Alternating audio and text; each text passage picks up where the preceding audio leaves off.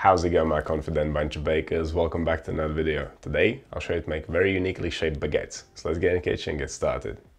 Pain d'epi is a type of baguette. The process of preparing it up until the point where it's scored and baked is identical to the process of baguette making. This bread is scored using scissors, which create this beautiful wheat stalk shape. The unique scoring method creates more surface area, resulting in a super crispy crust, which make it a perfect accompaniment to a soup or a stew. This is not the first video about this type of bread on my channel, but since I'm updating all my old recipes, I had to update this one too. And I'm sure you can already guess that there is no kneading and it's cold fermented. And as a bonus, at the end of this video, I will show you how to make regular baguettes using the same dough. But for now, let's get on with the epis. Here are the ingredients that we need. White bread flour, yeast, salt and water. Yes, it really is that simple. When it comes to equipment, we'll need a bowl, scales, a dough scraper, a temperature probe, and a pair of scissors for scoring. And we are keeping it simple when it comes to baking. A large baking tray lined with non-stick paper is all we need. No baking stones, no baking steel.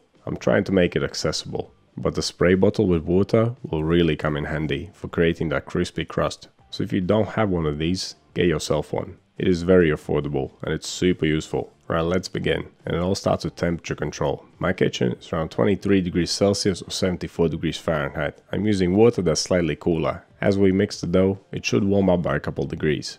In a large bowl, combine the water, the yeast, the salt, give it a quick mix, and then add the flour, grab a dough scraper and mix it to a dough. When it comes to temperature control during cold fermentation, you don't want to make the dough too cool. If it's around 20 degrees or lower, it will take forever to rise. I recently experimented with different temperatures and cold fermentation. I tried to cold ferment the dough which was 18 degrees Celsius or 64 degrees Fahrenheit. Even after 2 days in the fridge it had not risen. So if your dough ever turns out cooler, leave it out at room temperature for half an hour or up to an hour before refrigerating it. But if your dough turns out too warm, you should give it a fold sooner after you place it in the fridge. At around 23 degrees Celsius or 74 Fahrenheit, my dough is just about right. So I'm going to pop it in the fridge and leave it to cool down for 30 minutes. And after 30 minutes, we'll remove the dough from the fridge and give it a fold. Folding will help the dough cool down evenly and quickly, and it will build some tension.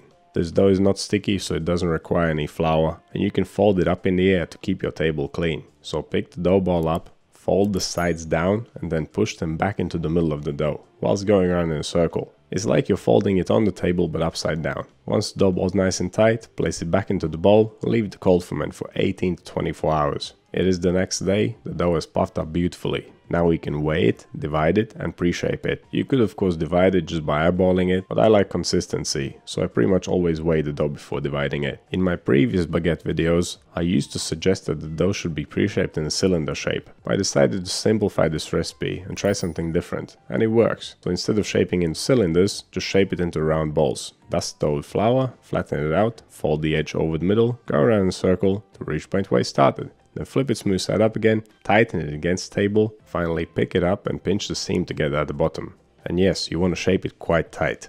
We will let the dough rest for quite some time before we do the final shaping. Because the dough is cold, we can afford to let it rest for so long. So once it's all shaped up, dust it with some flour, cover it with cling film and leave it to sit on the table for 45 minutes. And now we are ready to do the final shaping. And here I also decided to simplify the baguette shaping method at least relative to the one I used to do before. Dust the dough ball with flour, place it on table with the smooth side down and flatten it out. Give it a tapered shape, with a narrower top and a wider bottom. And now all you need to do is roll it up nice and tight, starting from the top down to the bottom. If the dough gets a bit narrow, pull it out sideways and keep rolling. Once you have reached the bottom, pinch the seam together and then gradually and evenly roll it out to about 30 centimeters 1 foot long. Once you're happy with the length, taper the ends by sliding your hands against the table at around a 30 degree angle with the ends of the dough underneath them. I sure hope that made sense. If you have tried my previous baguette recipes, then I'm sure you can see how much simpler the shaping method is. Okay, once you've shaped your baguette, take note of where the seam is and place the dough on the non-stick paper lined baking tray with the seam side down. Then shape the second baguette and we'll be ready for final proofing. And yes, at the moment it's still a baguette. It'll become an epi when we score it and bake it. Because yeast starts to become quite active after cold fermentation, and because the dough has spent already 45 minutes at room temperature, the final proof will be very quick. For me, it took around 30 minutes. My kitchen was around 24 degrees Celsius or 75 degrees Fahrenheit at this point. So keep an eye on these bad boys, they will over ferment pretty quickly. Make sure you give enough time to preheat your oven also.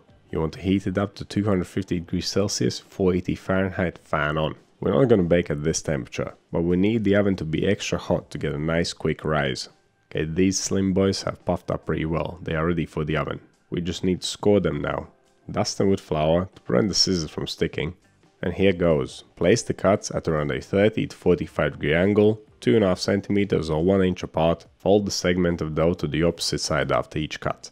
There are other creative ways that you could do this. You could alternate between shallower cuts and deeper cuts creating larger or smaller segments. You could cut each segment one more time. Or you could cut the dough from one side and fold all the segments in that direction. And you could sprinkle some seeds on them as well. But whatever you do, spray these spiky boys down with water before you place them in the oven. This will allow them to rise better and make the crust extra crispy. Okay, let's get these things in the oven. They'll take around 20 minutes to fully bake. As soon as you close the oven door, be sure to turn the temperature down to 210 degrees Celsius or 410 degrees Fahrenheit. Once they're nicely golden brown all over, they're ready.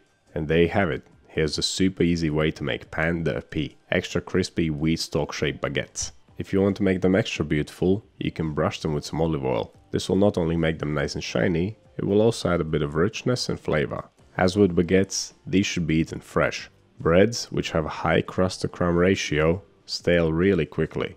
And these epis have got even more crust than a baguette. So bake them and eat them right away. They are perfect for sharing. Place this on the table and just let people pick segments off one by one. Or if you're greedy like me, just munch a whole one by yourself. I'm not gonna judge. Okay, let's move on to making the regular baguettes which I promised earlier. As I said, the process is identical up until scoring time. To score baguettes, you'll need a curved razor blade, ideally. Imagine that there is a 1 inch wide line running down the baguette. Cut the dough at an angle, keeping those cuts within that line. And you want to overlap the cuts by about one third. Using a curved razor blade will make the dough fold up, creating that distinct ear shape.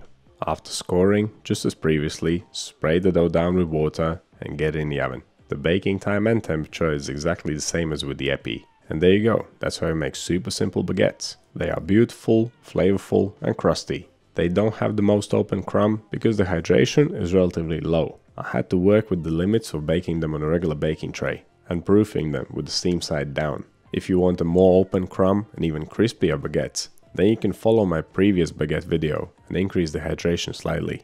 Like I said in this video, I try to keep things as simple as possible and the result is very good in relation to the effort that is put in. Let me know what you think these breads down in the comments. But that will be all for today. Thank you so much for watching, I'll see you in the next one.